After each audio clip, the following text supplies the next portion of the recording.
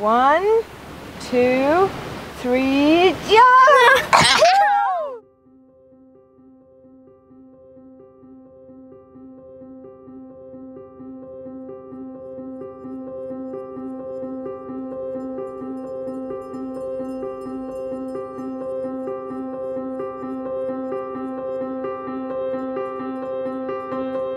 Hello everyone, we made a children's book. Can you help us? um, to save the ocean from plastic. Can you help us plant this?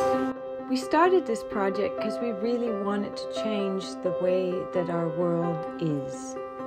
Our hope was to make it a much better place for both animals and our new children growing up in it. Hello everyone, I'm Angelica. I hold potato. I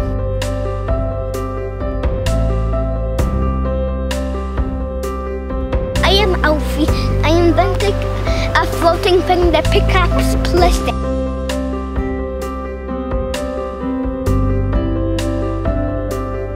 I'm Elias. Um, I want to save the oceans from plastic, and we made a children's book. Decided that the little children would be the ones to educate on this problem so that they in turn could have an ocean without plastic and with much more life than it even is today. So we set out to write a children's book to educate and to inspire and to make lots of little ocean heroes around the world. Why, why are you putting plastic in? What, what, what, what are you thinking? Hello, I'm Sandra. And I'm Joe, and together with our kids, we have written an adventure book about saving the oceans from plastic. It's not just about the oceans, but that's the main thing. It's also about being brave, and it's about how blended families can actually be a success, um, as we know that struggle.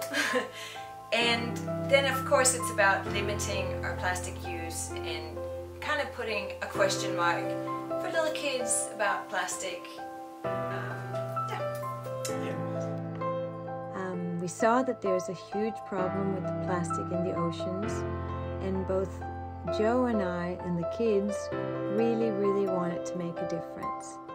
We hope that you guys will help us print this book so that we can get out there with the message of saving the oceans and reducing plastic. By supporting this, you will help us print the book and, of course, get a copy for yourself so that your children can also read the book or your friends' children. We really hope that you'll share and support and that you'll love the book as much as we have loved making it.